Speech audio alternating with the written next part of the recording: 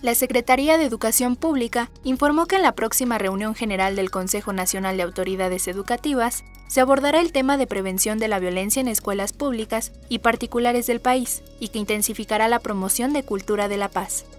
Ello luego de los hechos ocurridos este viernes en la escuela privada Colegio Cervantes de Torreón, Coahuila, donde un menor de edad disparó contra su maestra y sus compañeros, lo que dejó como saldo dos personas muertas y seis más lesionadas.